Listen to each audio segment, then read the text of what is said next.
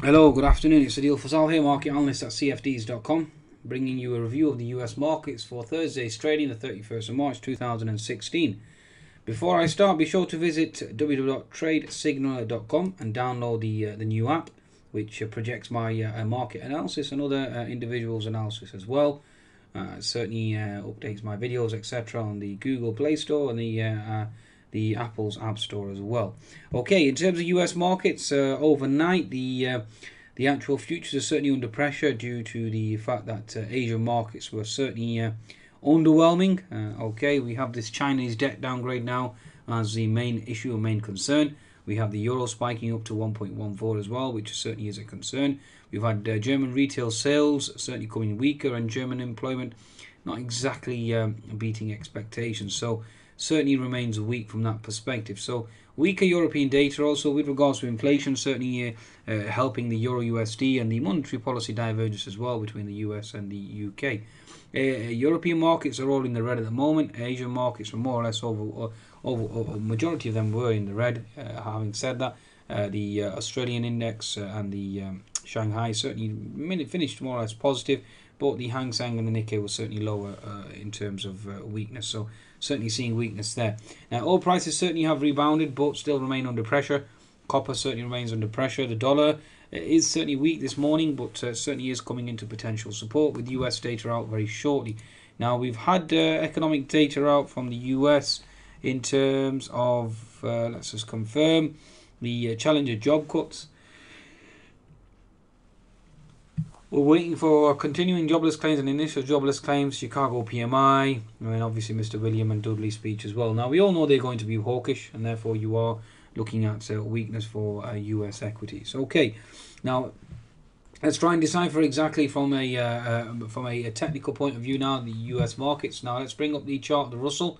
Uh, with regards to a potential next move. Now, the Russell itself has H&S formation in play. You had a lower high that was registered yesterday, and therefore you are looking for a potential thrust lower. The 60 minute chart of the Russell certainly indicating exhaustion. It's whether or not we can hold and maintain above that uh, previous high. And from my perspective, given the Chinese debt downgrade and Euro USD certainly under uh, causing pain in Europe, that's going to, to, to, to, actually feed through. And given the fact that we uh, lack of uh, participation in the rally uh, post Fed, it certainly seems to be dissipating. Okay, so certainly indicating weakness on the Russell itself. Now let's look at the S&P 500. Uh, you have this bull flag in play, but whether or not that bull flag plays out is a different question altogether. We did have a potential topping tail yesterday, uh, and that obviously will be confirmed with this Chinese debt downgrade now. Uh, obviously, if the Chinese debt downgrade did not occur, then it will be a totally different story. Now we've had oil weakness, given the uh, supply concerns, uh, obviously resurfacing, and now obviously we have Chinese debt concerns as well. So um, several Chinese banks reporting, and one of them already has reported, and there's potential news of a, a default. Now, the last the message that I read uh, in terms of uh, after S&P downgrades China outlook, CN China CNY down, JPY up. Uh, in terms of German employment, certainly stagnant. If I can go back now and look at the, I can't find that message now. As I retweet that? No, I don't think I retweeted it. Fantastic. Okay, so I don't seem to have that, but basically, it was the summation was the fact that we had concerns with regards to the uh, concerns with regards to the uh, Chinese debt uh, spiraling potentially out of control. Okay, and that obviously will have reverberations. Okay, the rest of Europe. So the S&P 500 is certainly looking at potential uh, topping tail on the uh, on the daily chart. 60 minute, if we can't uh, hold that previous uh, resistance equal support of 2056, we are going lower. And the 10 minute chart certainly explains all. So you can clearly see that we've put in a lower high, and we are looking at potentially closing the gap at 2055, uh, potentially moving lower from my perspective, especially given the Chinese debt concerns. Okay, let's bring up a chart of the Nasdaq now. The Nasdaq is the key uh, instrument that we need to look out for. You are looking at potential gap fill below at 4468, so potentially lower. Uh, 60 minute chart certainly has a, a bear flag. Uh, the previous resistance equal support is at 4450. So that zone is certainly looking to potentially be touched. Now, we again we put in the topping tail yesterday at previous support equals resistance, and therefore you are looking at weakness there. The semiconductors, let's just bring up the chart. The semiconductors on a daily chart, you can see that we are into horizontal resistance on the semi, so therefore indicates resistance on the Nasdaq. Looking at the biotechs, uh, bring up a daily chart. The biotech certainly is lang- still languishing at the lows, still failing to catch any real meaningful bid. And you can see there we did push higher and obviously we sold into the close. So that's not exactly a bullish sign.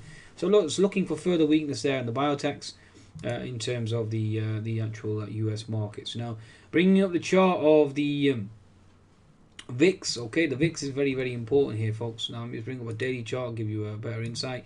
The VIX itself is now potentially coming into support, okay. The weekly chart is already at support, it's at a major support zone, and the daily chart obviously coming into support as well. So that's certainly signaling some type of risk aversion trade, and I've already identified that uh, being Chinese debt downgrade and obviously the euro spiking as well, destroying the QE trade, okay. Uh, the emerging markets certainly have impressed given the fact that uh, we've moved higher uh, on the back of uh, uh, a, a dovish Yellen, but we are now into gap fill resistance on the emerging markets, and therefore you're looking at weakness. Also, bringing the chart the dollar index, given the fact that we've pushed higher on the dollar index, for the dollar index, you can see that we are now into horizontal support and looking to potentially push higher, and that in, in turn will obviously cause weakness in global markets and commodities as well. So the FTSE 100 certainly will be the potential prime index that will see weakness and will experience weakness from my perspective. So all eyes on the uh, the FTSE and how that reacts. Okay. Uh, now bringing up the chart, the Dow, the Dow Jones is interesting here. You can clearly see that we put in a lower high, and uh, certainly indicating weakness. 60 minute chart again. Uh, whether or not we continue to make higher highs and higher lows, like I said, the Chinese debt concern certainly will weigh, and the Dow certainly is into horizontal resistance from the daily chart as well. So certainly everything is indicating weakness from my perspective and looking for a potential weaker move. Okay. Uh, now be sure to visit cfds.com for your trading needs. As, as you know, my bias will certainly remain bearish going into the US session.